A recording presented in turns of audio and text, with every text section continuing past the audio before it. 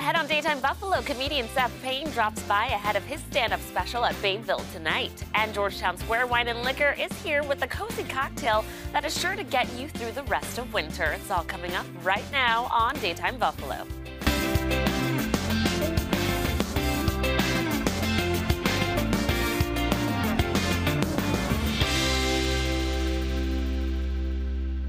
Afternoon, hello, and welcome to Daytime Buffalo. I'm your host, Chelsea Lavelle. Joining me now is stand up comedian Seth Payne. Hi, Seth. Thanks for coming in. Thanks for having me. All right, tell us about how you got your start in comedy. Yeah, so uh, I actually started comedy out in DC uh, nine years ago, believe it or not, and uh, moved out to Chicago in 2019. Uh, I've been doing a bunch of stand up, improv, sketch for quite a few years now, but mostly focused on stand up these days. Nice. Yeah. Now you're originally from Buffalo, which is your we love a native, but this will be your first time performing in Buffalo tonight, right? Yeah, yeah, it's kind of been a big buildup for a while. Um, I'm super excited. This is the first time I've ever gonna do like a full uh, special, so Yeah. like 45 to an hour long special. I figured bring it to the hometown, uh, one of my favorite cities in the world. So Of course. yeah, Buffalo, of course. yeah.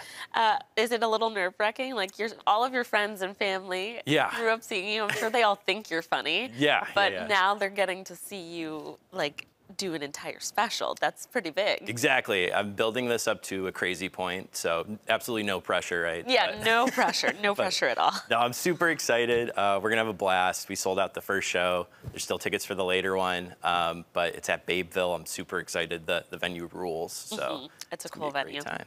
Now, what are some big clubs or comedy festivals you've been able to perform at? Yeah, I've actually uh, been able to perform at Laugh Factory in Chicago, um, Zanies as well in Old Town there, uh, the North Carolina Comedy Festival. I've performed in Brooklyn um, at St. Mark's Comedy Club and uh, Flappers in LA, just to name a few. I've been all over the place. Yeah, that's really cool. How do you describe your comedy style? Uh, yeah, it's definitely wacky, zany. Uh, I don't really get like too political at all. It's Yeah. more just stuff that makes me laugh. Uh, I try and make other people laugh in the same vein for sure. Are you interactive with the crowd, or is it? Yeah, yeah, a little bit. I there's there's points where like I like to throw it out to them and then we have fun with it. Um, none of the classic like you know how did you guys meet? I, I go a little bit outside of the box with that. So try and keep it fresh. Who are some of the comedy legends that kind of inspire you? Oh wow, uh, I love Steve Martin. Lately, like Bert Kreischer, Tom Segura, I think are hysterical, um, amazing comics. Uh, yeah, I don't know. There- There's so many that I've really drawn inspiration from uh, over the years, but yeah, those are probably my top picks for sure. And when we were talking before the interview, you actually mentioned that you feel like a lot of your your funniness or your comedy actually comes from your dad. Yes, big time. That's probably my biggest inspiration, honestly. Uh, he's always cracked me up to this day. He still makes me laugh, but yeah, he's he's definitely made our family way funnier as a result. so I'm excited. He's going to be there tonight, so hopefully. Yeah. Is he excited to see you? Is this Yes. the first time seeing? Yeah, he's coming to both shows Okay. too. So uh, hopefully can get him chuckling at some points. But he's got a plethora of dad jokes. So it's gonna Got be hard them in to the top. bag. Yep. Yeah, that's true. um, but if he doesn't like you, you've got some opening acts, right? I do, yeah. I, I do have a couple, exactly. There's a little variety. Um, I've got my buddy Ron Hexagon, who's a mu- music, like comedy, uh, musical comedy, I should say.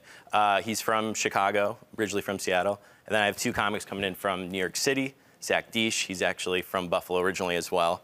And then Brad Rickert, who's from uh, like the Indiana, Chicago area. So nice variety of like East Coaster, West Coasters, all over the coasters. All, all the coast. All the coast. Yeah. So, what's your favorite part about doing stand-up? Oh man, just making people laugh. I mean, it's it's fun getting up there, being wacky.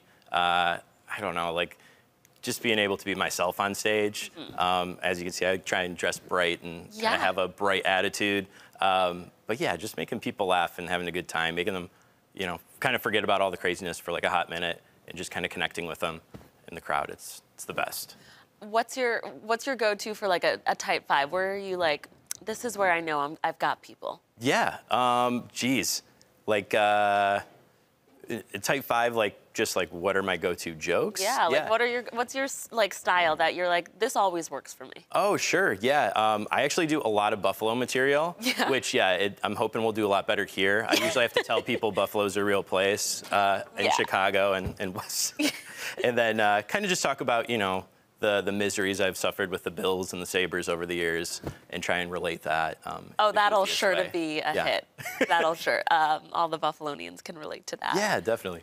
What are the hopes for you in your comedy career? Oh man, I'd love to keep touring uh, around the country. Uh, maybe even go to Europe at some point. Be awesome. Uh, this special is going to be released on YouTube this summer, so stay tuned if you can't make it to the show tonight.